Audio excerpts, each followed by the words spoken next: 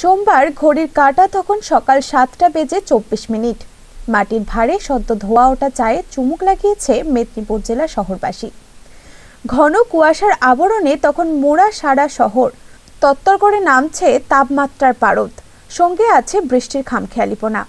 কুয়াশার চাদরে ঢেকেছে জেলার একাধিক জায়গা। সকাল থেকেই মেঘাচ্ছন্ন আকাশ। এরই মধ্যে হালকা বৃষ্টির ভুক্রুটি তো আছেই। ঘন কুয়াশার জেরে ব্যাহত হচ্ছে যান চলাচল। ট্রেন চলাচলও ব্যাহত।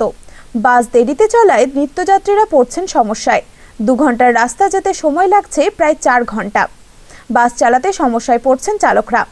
অনেক গৃহস্থ আবার বাজার করতে গিয়েও বাড়ি ফিরে এসেছেন।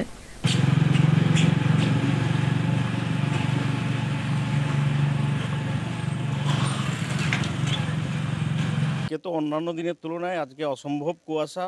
আমরা তো আজকে বাজারহাট করতে বেরিয়ে এসেও আবার ফিরে যেতে হচ্ছে কারণ এত কুয়াশার মধ্যে দিয়ে মানে যান চলাচল করাও বিপদের মধ্যে সম্মুখীন হবে মানুষ।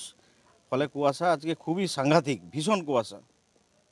সকালে কি প্রত্যেকদিন দেখেন এইভাবে না এইভাবে কোনোদিনও সকালবেলা আমরা দেখতে পাইনি। আজকে যেভাবে আমরা লক্ষ্য করছি অসম্ভব কুয়াশা এবং খুবই ভয়ানক সিচুয়েশন আজকের দিনটা তো দুর্ঘটনা ঘটতে পারে। অন্যান্য দিনের তুলনায় কি আজকে কুয়াশা বেশি? বেশি অনেক বেশি। আজকে কিছু দেখাই যাচ্ছে না। হ্যাঁ, আমি গেছিলাম ছেলেকে টিউশন দিতে। কিন্তু দেখলাম রাস্তার মধ্যে খুব অবস্থিত অসুবিধা হচ্ছে। তো হেলমেটটা অবশ্যই করা উচিত ছিল এই অবস্থায়। কুয়াশার জন্য কি যান চলাচল কম দেখছেন? গজন একটু কম জঞ্জলা কম কম চলছে। এখন টাইম কটা বাজে তো? এখন কাছাকাছি পৌনে আটটা আটটার মতো হতে পারে। কিন্তু দেখে মনে হচ্ছে যেন ভোর হয়েছে। চালাতে হচ্ছে এছাড়া আর কটার সময় বেরিয়েছেন? ছটা পঞ্চাশ।